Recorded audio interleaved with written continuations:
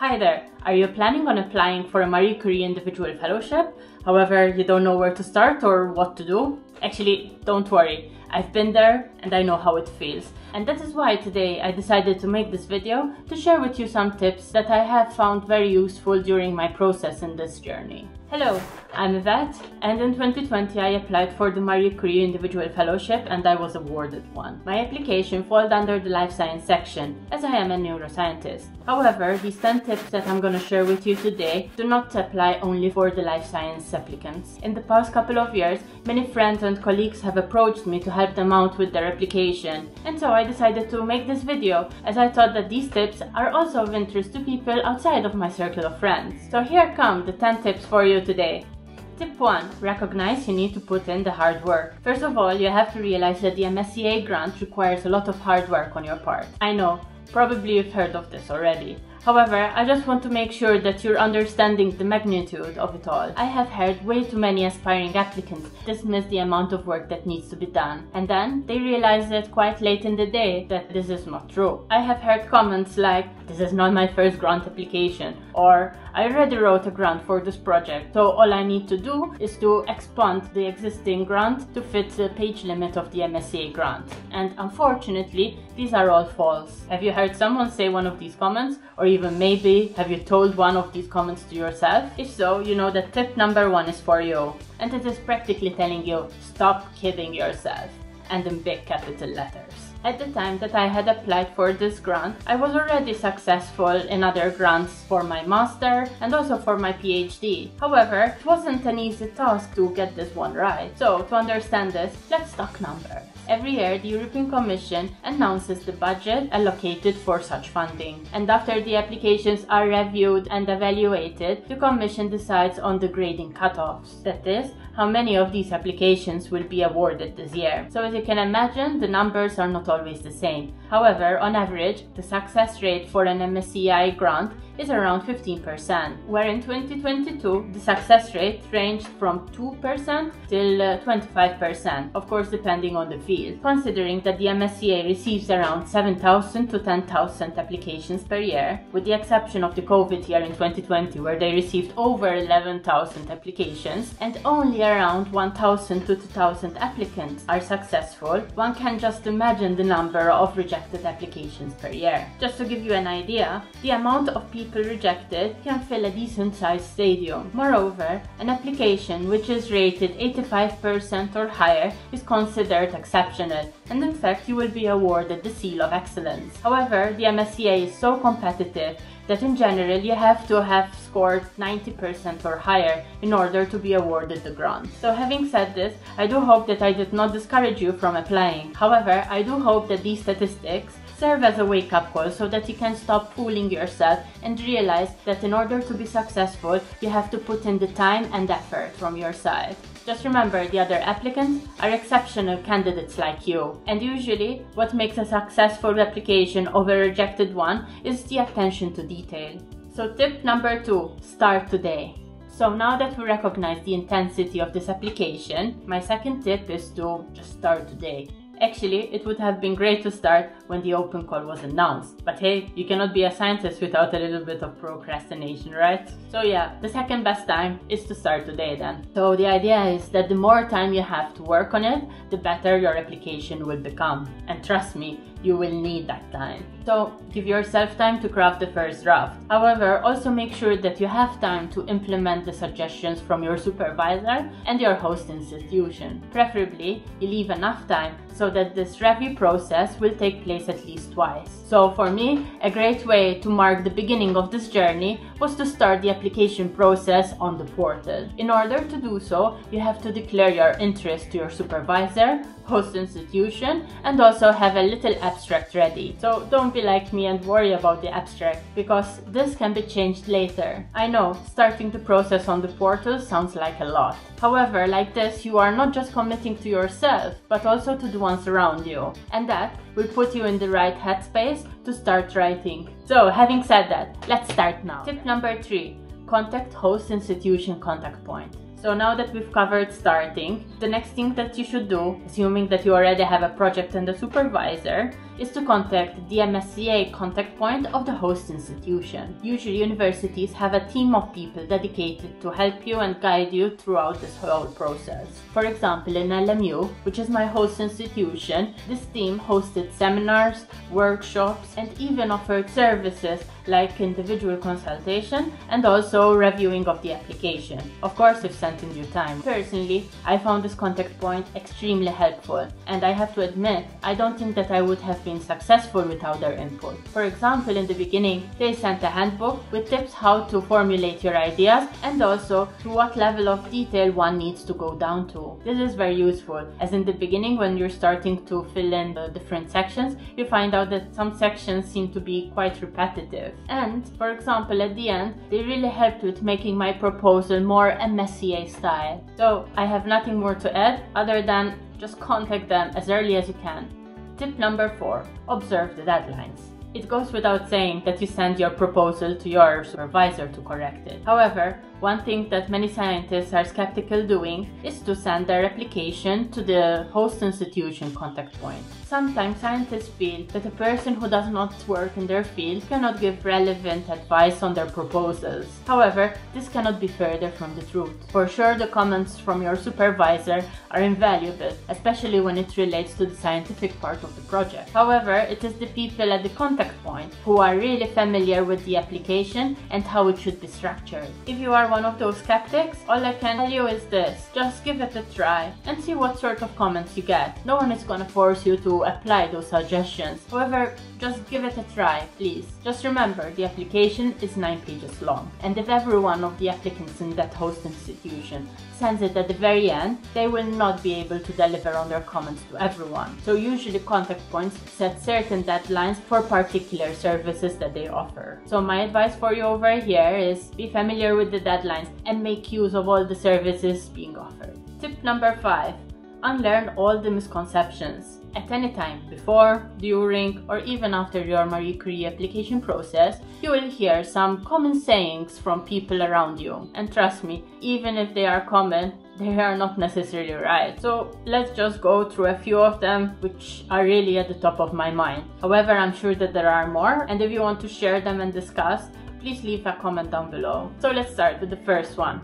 I am used to writing grants, this will not be difficult for me. This is false, of course. So, unless you are used writing applications for funding from the European Commission, such as the ERC grant. However, then, you are probably not eligible to apply for the Marie Curie Individual Fellowship, as the ERC grant is for advanced scientists. So, at the risk of repeating myself, writing this grant will not come naturally. Saying number two, I can fill 9 pages in no time. I don't need to start early. And you guessed right, it is false again. Although it is easy to fill 9 pages, in this grant the problem is not to write 9 pages, but it is to stick to those 9 pages. You will be required to go into so much detail and to write about so many different things that at the end you will need to cut down completely the fluff that there is. At the end you will be asking yourself, if I reduce the margins by just this little, will I be able to fit in the last sentence? The third saying, which is you are a woman, you have a higher chance of getting it. Or, well, these days I heard that they are preferring women. And false again. And this one really makes me angry. I heard this in my application phase, and I've also heard it in someone else's application phase. So, if you hear it, don't believe it, and most importantly, do not repeat it. There is no quote of how many men or women should receive this application. So I have to say, like most people who say this do not have any ill intent. However, this saying just devalues the efforts of women who apply, both if they were successful or not. Mind you, regarding this issue I can fill a whole video. However, I just want to say that women, just like men, are more than capable of writing a successful grant. And if you're a woman and applying, don't let anyone steal your light. Tip number 6. Press submit frequently. Preferably, one should submit their complete application two weeks before the deadline. However, if you're anything like me, you'll keep on working on it until the very last minute. So the second best thing is to continuously submit the current version as you go along. I have to admit this was very scary for me to do the first time because I kept on wondering if this is actually gonna be submitted and it will be considered as the complete application. However, this is not the case. The application can be still modified over time until the deadline. This particular habit is quite handy when the deadline is approaching because at the end the portal will be under heavy use and sometimes when there is heavy traffic uh, the website just breaks down and if it breaks down at the very end there won't be enough time for the European Commission to fix it before the deadline so that if you cannot upload and actualize the very very very very last final version at least there will be the free version, right? Yeah, I know what you're thinking, but don't our applications need to be as close to perfect as possible? So how would this help me actually? I agree with you, and my answer to you is this, that towards the end, your application will look more like an actual proposal. However, you will keep on refining the little intricacies, such as spelling mistakes and so on and so forth. So if this is the case, I would prefer that the reviewers would get a version of my proposal with the spelling mistake here and there, rather than no proposal at all. After all, this is not an English test, and if you're in the game, you still have a chance to win. Tip number 7. All sections count.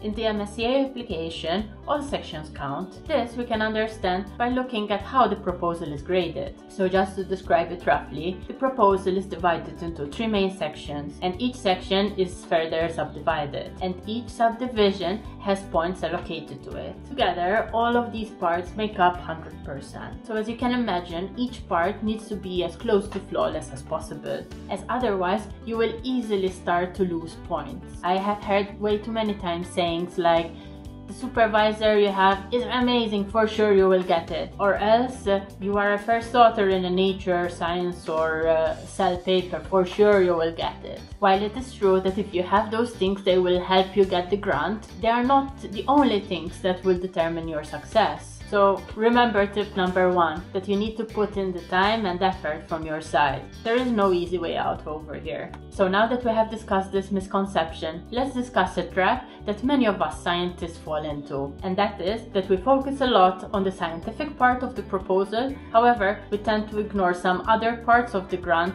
which we are not so familiar with. Mind you, I also had this problem, but thankfully the LMU contact point pointed this out to me. And while revising my proposal, I realized that I ignored these parts because I either didn't know how to do it or else I really thought that I was clear enough. What I learned is that when my brain did not know how to answer a particular section, it provided me with a rational excuse so that I'll be able to dismiss it and move on. And of course, this creates a blind spot in your judgment, so try not to fall for this trap. Tip number 8. Clear time slots.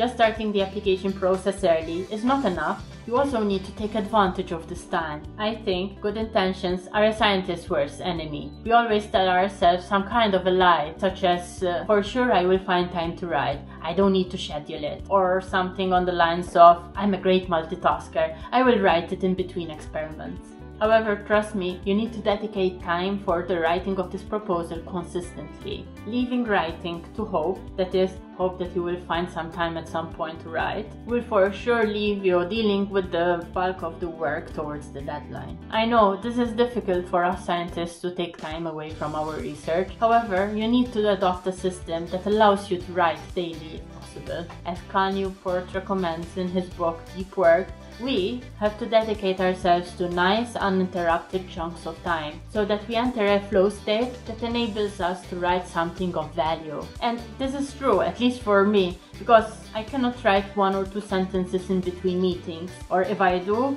they aren't so great for sure. Furthermore, if possible, write from home or find yourself a nice office space where you're not easily reachable. I find that being available in my office chair always invites people to interrupt, and finding this uninterrupted time will pay dividends in two ways. First, you have quality time spent on your proposal, as one hour slot is worth more than four 30 minute slots. And secondly, the fact that you require a chunk of time forces you to schedule them in your calendar and therefore making writing consistent. So my advice to you over here is to start regularly making time to write. Tip number 9. Your first draft won't be perfect and make peace with it. For you to be applying for the Marie Curie grant, most probably you already have some experience in writing. For example, your PhD thesis, manuscripts, and also in some cases other grants. In my case, I had done all of the above. However, when it came to writing this grant, I found that I had to up my writing game even further. The level of detail that one needs to go in, coupled with the concise nature of this application, can be only achieved through training. I really found it hard to deliver this proposal,